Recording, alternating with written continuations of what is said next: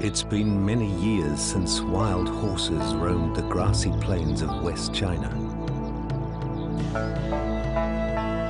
This is a land of extremes, where a herd survival can only be assured by a strong and worthy leader. Windchaser is the first wild stallion to lead a herd here in nearly half a century. His mares and foals will follow through good times and bad. None follow more loyally than the mare Black Pearl. But living wild is hard. When Windchaser is challenged and death stalks the herd, their loyalties will be tested like never before.